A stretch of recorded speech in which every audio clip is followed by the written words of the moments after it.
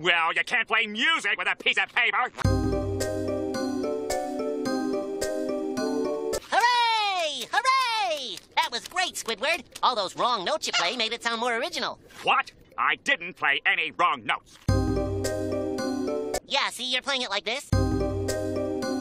When ordinarily it goes like this. I'm partially doing it in the key of A minor myself.